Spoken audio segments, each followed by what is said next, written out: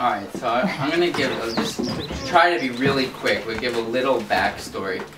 I think actually a huge part of why we started this garden is we lost faith in civil in that civilization was going to continue. We weren't saying it wasn't going to, but we lost faith that it was, and we really wanted to be much more connected to our food source.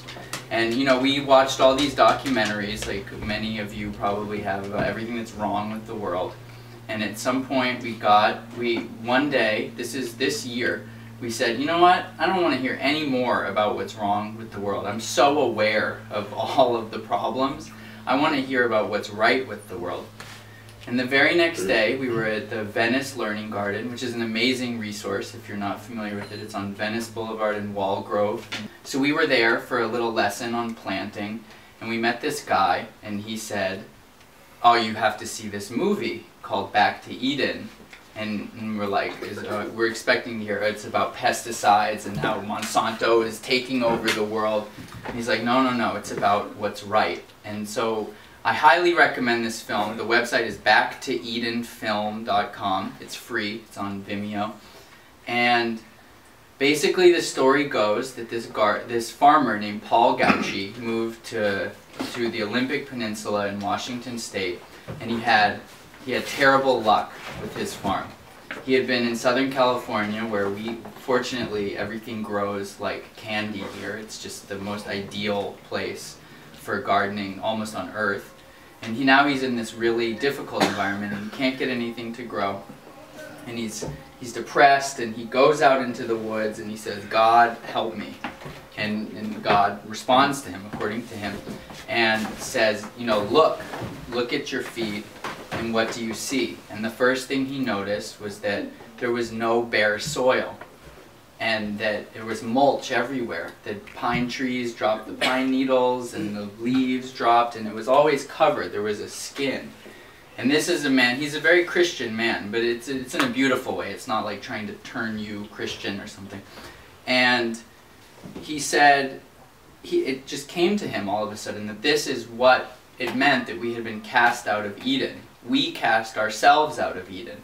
And we did it by breaking up the skin of the earth and tilling the earth and creating and, and uh, exposing the dirt and then having to toil by the sweat of our brows. All this hard work that we have considered farming for the past 3,000 years. And so he started, he did a bunch of experiments, and what he came to ultimately was to take chipped trees. So this is, this is, here's the first thing, chipped trees.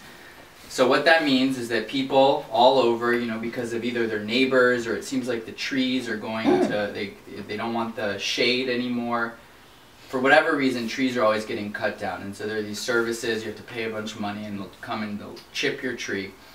And the people that chip the trees, they need, they don't, they have to dispose of it. It costs them money. So they will actually, if you can get connected with them, they will actually come to your house and just leave you a chipped tree for free.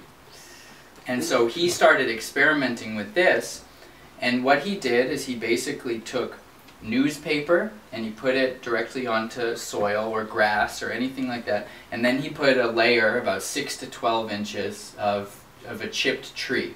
And this is very different from what you would see in like Beverly Hills or something of wood chips, you know, where it's all the same size because you don't want all the same size. You want all these different sizes, some this big, some that big, some that big, some that big, leaves, branches, etc., etc., etc. Because what that starts to do is it starts to mimic nature. It's a perfect harmony. The bugs can live in there. It has enough uh, space for things to crawl around, but it's compact enough that weeds can't really grow through it. It's it's like as you as the logic of this becomes more and more clear to this guy, he realizes that God has created a perfect system already, and it's all around us, and the evidence is all around us because you go into the woods and there's no gardener, and everything is growing and it smells fresh and there's it's green and there's life, and no one did anything to make that happen.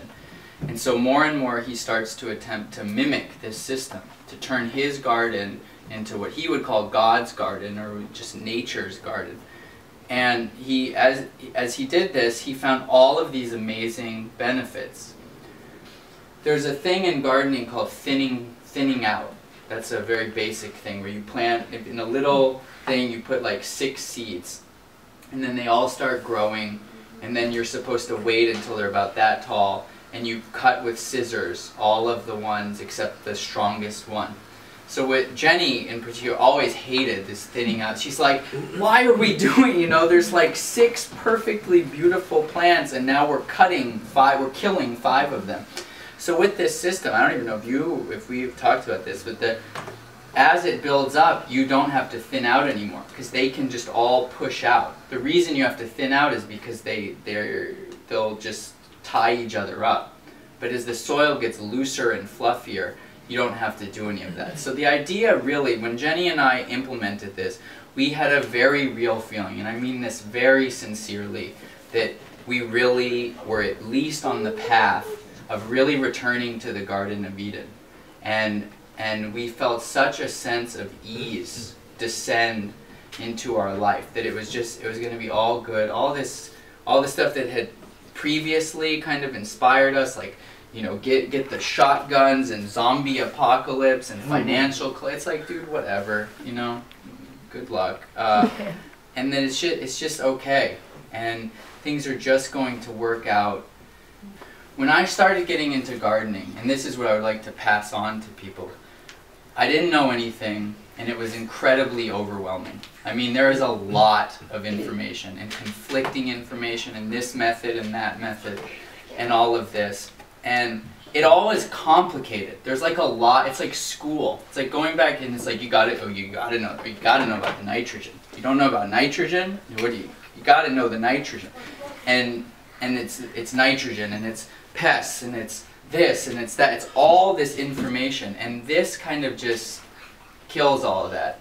You can forget all this information. Just start going back to natural things. Yes, you probably still have to work. Yes, you may even still have to work a lot, but there's an ease to the work. There's this real beautiful simplicity. It makes me think this is this is, this is the end for me. Uh, I believe it's Bertrand Russell, who's a famous mathematician and philosopher. It might have been Buckminster Fuller. It's one of the two of them, who said that if something is not, if a solution is not simple, simple and beautiful, it's not the right solution.